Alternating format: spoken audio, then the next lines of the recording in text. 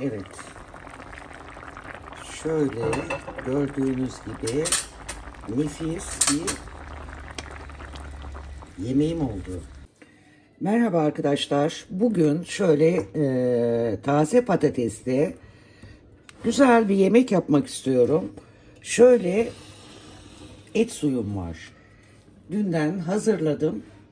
Şimdi burada patatese kullanacağım. Eğer patatese fazla gelirse geri kalanı da hemen dondurucuya atacağım. Öncelikle patateslerimi doğrayarak işe başlıyorum. Patatesleri şöyle e, sulu patates yapar gibi doğrayalım.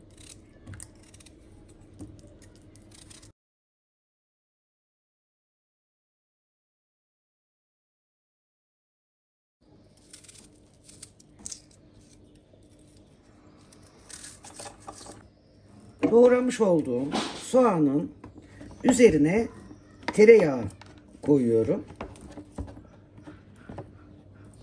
Bunun içerisinde normalde bu etli yapılır. Ama ben et koymayacağım. Et suyu kullanacağım. Et koymuştan daha lezzetli olacak arkadaşlar. Şimdi tenceremi hemen ocağa alıyorum. Evet soğanımı güzel bir şekilde kavuruyorum. Şöyle yarım yemek kaşığı salça ekliyorum kavrulmuş soğanın üzerine ve şimdi salçayı eritiyorum. Ve üzerine bir su bardağı domates konservesi koyuyorum. Domates salçası da kullanabilirsiniz. Ben domates salçası kullanmıyorum ve konserve kullanıyorum. Bunu biraz bu şekilde e, kaynamasını istiyorum. Ondan sonra diğer işlemlere geçeceğim. Şöyle 3-4 dakika kaynayan sosun içerisine tuzunu atıyorum. Karabiber ve karıştırıyorum.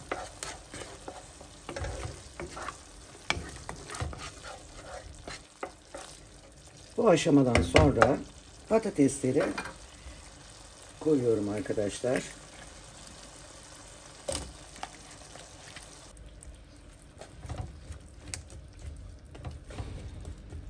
Böyle bir kaynasın. Sonra suyunu ilave edeceğim.